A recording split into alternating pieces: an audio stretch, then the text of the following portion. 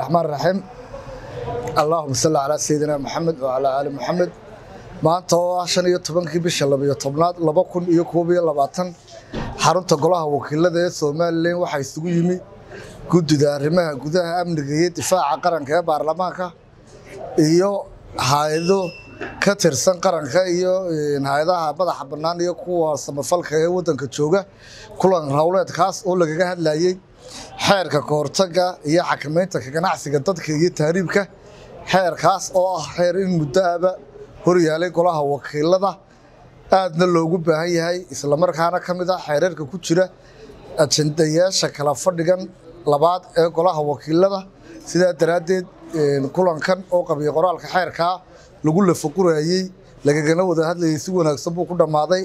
Waxaana guddida iyo xubnaha qaybaha kale ay u ballameen.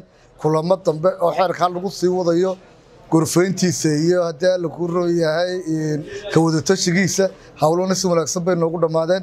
Waana mahadsantihiin wabilaahi towfiiq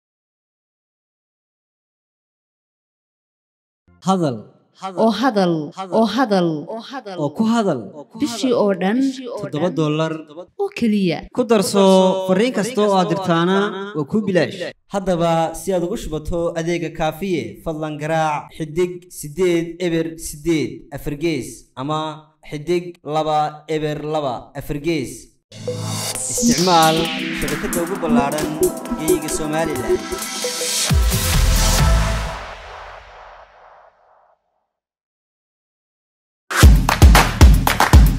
abka dahab las iyo casriyeynta adeegyada shirkadda dahab shell. Dahab las oo kuu fudaydinaya islamarkaasina kuu koobaya dhammaanba baahiyaha adeeg ee edahab dahabbay iyo adeegyada shirkadda somtel mar kasta iyo mar kastaba ku isticmaal ablicathonka dahab las